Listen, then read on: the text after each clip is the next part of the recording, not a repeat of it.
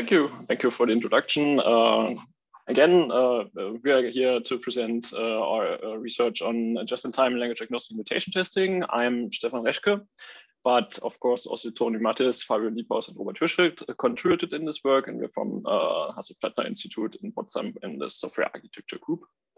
Now, consider yourself, uh, you're, review, you're reviewing a code base. Uh, you encounter a function like this predicate here. You can see it's called some function.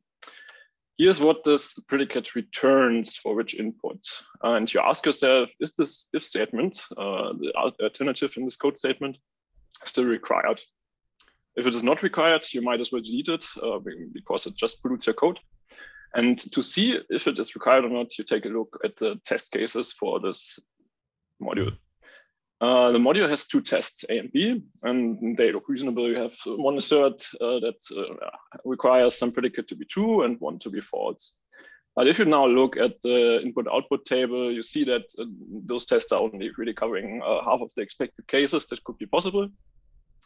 And as it turns out, uh, the really important uh, point here is this uh, ratio between 11 and 14, which is uh, what this alternative is doing in this method. So it, it does not appear to be important. Uh, and now you have basically a dilemma.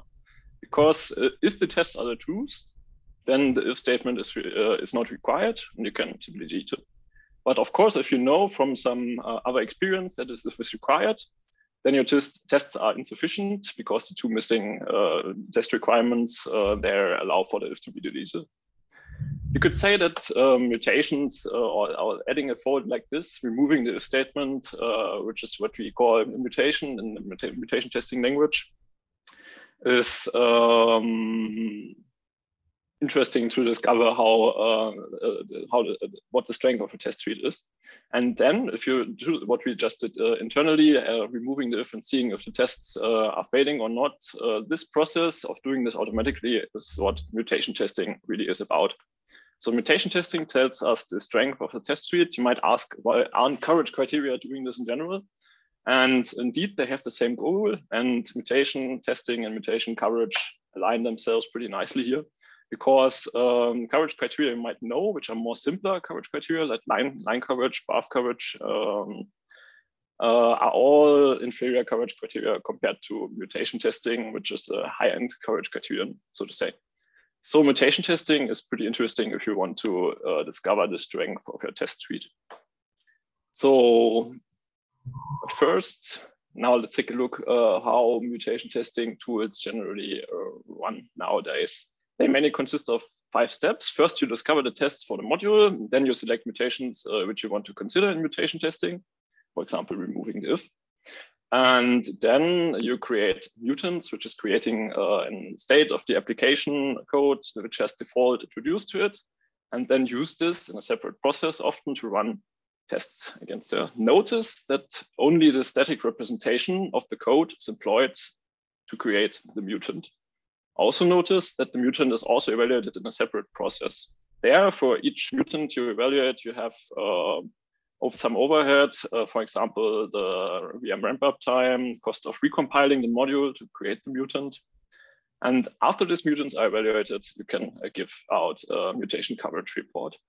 Since only the static code is used to create a mutant, we refer to this approach as ahead of time mutation, uh, which is a new naming we chose during our in our contribution.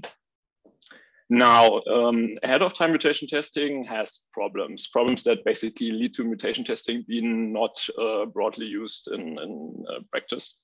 First, there are some, there are the mutant associated costs, uh, which I already uh, mentioned, um, ramp up, um, mutant creation, recompiling the code, and the test runs on a mutation. Second, mutation tools are developed uh, often per language, so language specifically or runtime interpretation of language specifically.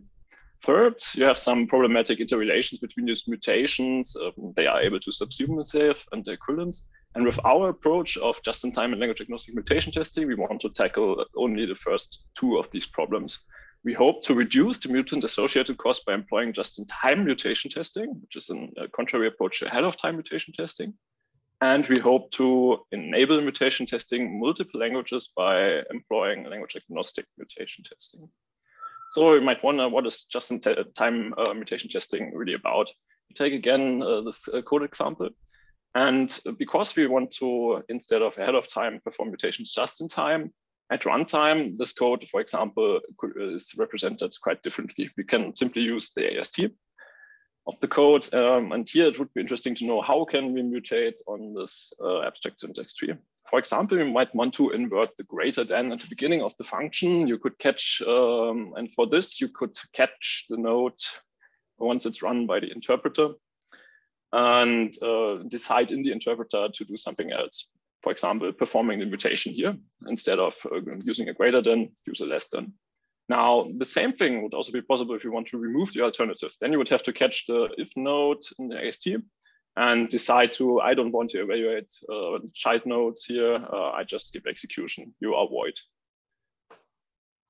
And this is already basically, because now we have a different opportunity to uh, do mutation testing. Uh, on the left side, you see again ahead of time mutation testing, and on the right time now just-in-time mutation testing, which is really about applying mutations at runtime while running the tests.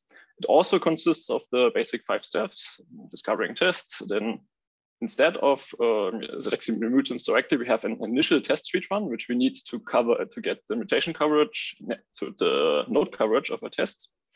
Uh, so that we then from these nodes can select the nodes that we want to mutate on.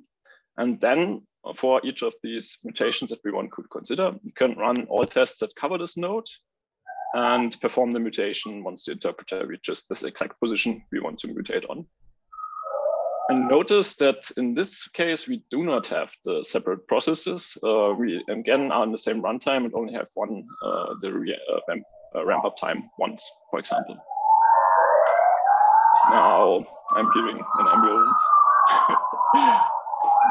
Uh, so our idea really is to combine uh, two ideas, just-in-time mutation testing, which is an approach uh, done in um, mutation testing in dynamic languages, for example, in Smalltalk and uh, Python uh, primarily. And we want to combine this with uh, Truffle's instrumentation API, which allows us to do just these AST manipulations at runtime that we want to do. And both of both of these I did combines combines uh, to just-in-time and language agnostic mutation testing. And here the first most interesting question we had uh, for our study and the results we're presenting now answer the question, does Truffle's instrumentation API support just-in-time mutation testing? And for this, these are the, so this made uh, produce our uh, research goals. Uh, our research goals are to provide a proof of concept for just-in-time and language agnostic mutation testing. And, and, now we are going to show preliminary results of the feasibility study, which is an implementation of just-in-time mutation testing based on Truffle's instrumentation API. Uh, future research on something that we don't show now, but uh, want to do later is to evaluate the implications of just-in-time and uh, language agnostic mutation testing. So for this, now we have a quick demo. I'll quickly optimize the screen share for video clips. Just give me a short feedback if it's still not that optimal. But here you can see that I have a uh, terminal and a code editor open. And this is the code example we also have in the paper. So we, uh, there's not much to say about it. Really, it's just more alternative, one more alternative than the example we used in the presentation. And uh, test two tests below. And now we can do mutation testing on this uh, by calling the polyglot executable and using the option minus minus mt on the file name, uh, we enable our mutation tool, which is a Truffle instrument and it gives us a mutation coverage report, which has uh, pretty much everything you would expect. For example, some statistics, um, the mutation coverage score for this system under test, function up here. And also it lists us uh, mutations that are alive, so the mutations that did not cause the test to fail, and the mutations that are killed, so which, which were caught by the test suite. So what we don't have in the paper, but is really new here, is uh, because our tool is language agnostically, um, we could uh, also try this on another language. And here we chose to do it on simple language, which is a, um, a template language uh, or um, reference implementation of a Truffle language provided by Oracle Labs. And here you have the exact same code example just skip through it. Yeah, exact same code example, only in simple language with the same tests. And now we should pretty much be able to do. And in fact, we are to again call the polyglot shell with our mutation testing tool. But this time on the simple language code. And we should get the same mutation coverage report. And indeed, but we did it in simple language this time. We have again the same statistics, uh, the same alive mutations, and the same killed mutations for this. So our mutation tool works in multiple languages. So how did we do this? Here you can see an overview of what we implemented. Uh, first to note, um, everything that is highlighted in green is what we actually implemented or added. So the most notable thing on the top left side here you can see is the mutation instrument that I just called by invoking minus minus mt, which has a just-in-time mutation testing algorithm and some language agnostic mutation operations uh, with it. But also we added an interface for test discovery and some mutation tags to Truffle now there are some responsibilities which we uh, require language implementers to do, which are namely, which we focus on later slides, which are namely the adding uh, the mutation tags to the ASTs of uh, the, uh, respective languages, providing test discovery implementations for a mutation tool, and optionally providing mutation operations. But again, we uh, focus on these uh, in just a few slides. First, uh, look at how we did this. We have these five steps of uh, just-in-time mutation testing. And for our initial feasibility study, only the initial test suite run and the mutation test runs were really important. So we decided to focus on those. And here the most interesting questions are how uh, can we uh, find nodes and how can we implement mutation operations? And in these mutation test runs, how can we apply these mutations at runtime? For the other three steps, we uh, choose some working assumptions in order to simplify the approach for test suite discovery. We simply assume that there are some functions next uh, in the test file uh, which are prefixed with test, and those are our tests. For mutation selection, we simply pick all, and for coverage output, we made a console, console output. But um, you can always in the future expand on these uh, basically, but um, they are not required as of now for the initial test you run, how do you do this? Um, you have to set up an execution event listener, and uh, this will listen for a specified set of tags, our mutation tags, which we added, and stores all these nodes that we have been co uh, have covered um, during the initial test suite run, and uh, available runtime information that we decided to store as well. For example, the result that this new node actually has uh, evaluated to. Now, once you have this listener configured, you run the whole test suite uh, and you have all mutation candidate nodes available. And based on these, you can perform a mutation selection and then you can do the mutation test runs. And these, again, utilize the same execution event listener and uh, listen this time only for the required tag for a specific mutation operation we want to apply. And once it's uh, at this node and checks the node's identity to see that we're really on the right greater than in this example, then we perform the mutation. Now, if you take this listener and run the covering tests on the node, uh, you can do mutation testing. Once uh, you see a failing test, you can stop and go to the next mutation. And then you can repurpose this uh, execution event listener, reconfiguring it for the next tag and uh, node to target, and then uh, go for the next mutation how do we specify mutation operations? Since we uh, both times employ the execution event listeners, um, its interface pretty much determines what you can do in these mutation operations. We only implemented some simple mutations operations, uh, like um, stuff related to Boolean expressions, basically. Overwriting with false and true once they're caught, and negating a Boolean expression. You can just really uh, simply see how they're implemented here. You see that you have this context context and virtual frame object, but also the previous evaluation result. And for our cases, we didn't really need to use this, but uh, you can obviously uh, use them uh, if you really uh, need to. So now, what are the responsibilities of language implementers in order for their languages to enable to profit from our mutation tool? There you have three points, which are already named A, B, and C in this uh, this figure. For the first thing, you have to uh, attach your our mutation text to your language AST nodes. And we just uh, take a look into this uh, shortly, uh, why this is required. And then for our test frameworks, um, provide um, test uh, discovery, implementation and optionally add some mutation operations. So mutation tags, um, how do you apply them? Uh, once you always uh, have to add uh, which tags your Truffle language supports to the um, language. And uh, for each node that this tag is uh, applicable to, for example, you have here in JavaScript uh, than node um, class, uh, you have to override the hasTag method in order for it to return true if um, hasTag requires uh, asks for uh, our mutation tag.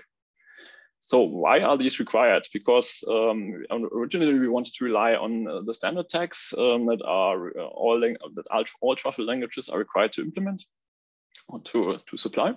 But uh, we really need nodes that are uh, uh, telling our tool more easily to uh, find uh, which candidate nodes we want to consider. So as you can see, our mutation tags are more on the level of is it in less than or greater than operation, while the standard tags um, tell us what an expression, a statement, and a region right variable is.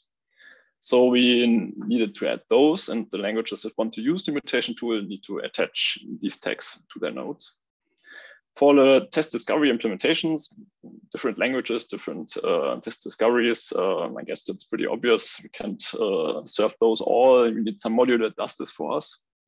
And for the language specific mutation operations, which are uh, quite optionally, you can again use the same interface we use for our mutation operations.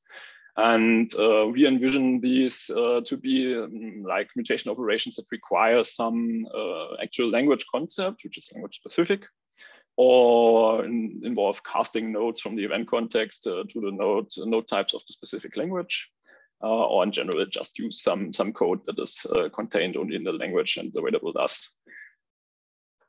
So based on this, what are our next steps? Since we only presented the initial feasibility results on next steps on implementation are to make the tool ready for evaluation, maybe test uh, our mutation to an additional languages. This involves uh, adding the text to these languages uh, later, maybe to contribute this to a, via pull request to the Graal repo or uh, some other place, so others can profit from this.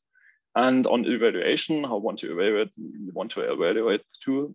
Um, we want to evaluate it with regard to features, um, the supporting mutation operations compared to other mutation testing tools, but also um, the performance that we can achieved by mutating on ASTs instead of uh, using another mutation tool. And um, there our first candidates are to compare ourselves, for example, to Stryker.js, which is a um, state-of-the-art uh, JavaScript mutation testing tool. Future research opportunities or future work in, based on this uh, are pretty much twofold. You have just-in-time just-in-time mutation testing and on the other side language agnostic mutation testing. And for just-in-time mutation testing, you can evaluate uh, how in general the performance or the ability to write mutation operations in this setting is compared to ahead of time mutation testing and how you can uh, make good use of the runtime information that can be gathered by the initial test suite run. So for example, in uh, previous execution results, maybe you can use those to um, use some executions by uh, only uh, playing back the, the, the, information you discovered previously. This is uh, just some example of how you could use this. For language agnostic mutation testing, uh, it could be interesting to see uh, if uh, maintaining a sort of a plugin to our mutation tool, which then would become a mutation testing framework, um, is um, cheaper than developing a standalone mutation testing tool for this language. And you could also evaluate uh, or take a look into which uh, mutation operations are can be implemented language agnostically and which uh, are required to be language specifically. And then you, of course, also have all fun that is associated with polyglot programming in this regard. Uh, for example, what happens if you uh, are testing a polyglot application or have a polyglot test suite and how this uh, all works together or contributes to mutation testing this way to give a quick summary, we started from uh, wanting to remove uh, the or requesting uh, searching where we are able to remove this uh, if statement here. And um, there we realized that mutation testing is uh, usually done with uh, ahead of time mutation testing in a separate process. And instead, we want to use just-in-time mutation testing, which enables us to use the runtime interpretation of the code, which is the AST. And uh, once our tests reach uh, this uh, node that we want to do a mutation in, we can uh, use the interpreter there to do the mutation. And since we um, uh, presented a mutation tool that does exactly this, just-in-time and language agnostic mutation testing is possible with Truffle. And this concludes this talk, and now I'm happy to answer questions.